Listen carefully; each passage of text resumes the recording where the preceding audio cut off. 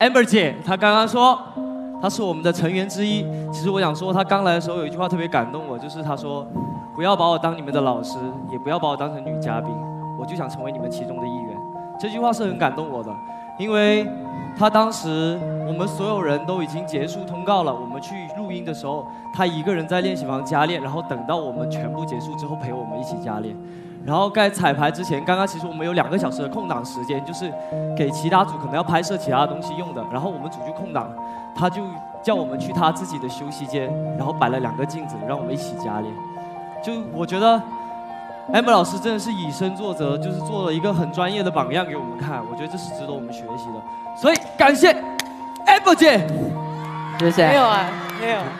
其他学员呢？我觉得 amber 老师特别照顾我们，因为我最近的情绪可能不是特别好，然后他会跟我讲很多事情，就鼓励我，让我现在就是就享受舞台就好。包括我们队形很多换的很快，也经常会有一些稍微一些安全问题，他每一遍都会问我们怎么样，就是非常考虑我们的感受。跟他在一起就是一点点老师的感觉都没有，真的，他又是老师，但 是他同时又是真的是很好朋友。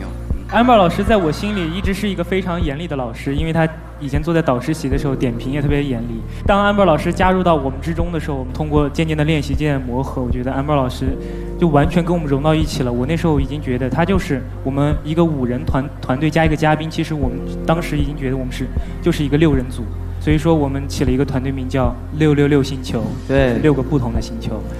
非常感谢 amber 老师的加入。